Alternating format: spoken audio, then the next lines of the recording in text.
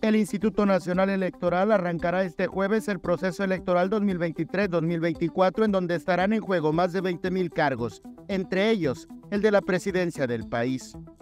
Lo más significativo es que por primera vez se perfila la llegada de una mujer al poder. En este sentido, pues el Consejo Local inicia sus actividades o se tiene previsto que se instale el primero de noviembre.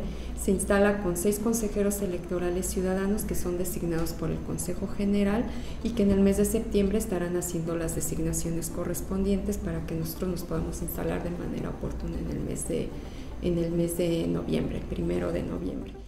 Este proceso es conocido como el más grande de la historia del país, pues es la primera vez que hay elecciones concurrentes estatales y federales en las 32 entidades federativas. Bueno, tenemos eh, antes precampañas, que son los precandidatos cuando quieran participar como tales y los partidos políticos organicen un proceso interno y se llevan a cabo del 5 de noviembre al 3 de enero, 5 de noviembre de este año al 3 de noviembre y las campañas electorales del 1 de marzo al 29 de mayo.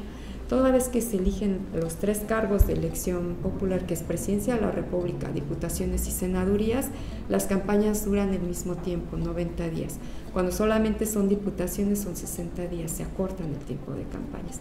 Pero ahorita, pues para todos los cargos dura el mismo tiempo a nivel federal. Aunado a lo complejo del proceso, el INE planea realizar acciones nuevas como voto en prisión preventiva en el país, voto anticipado y voto en el extranjero, en tres modalidades.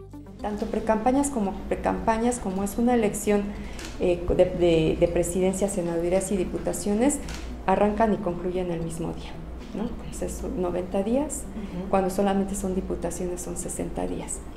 Pero ahorita como son las tres, todas inician y concluyen el mismo día.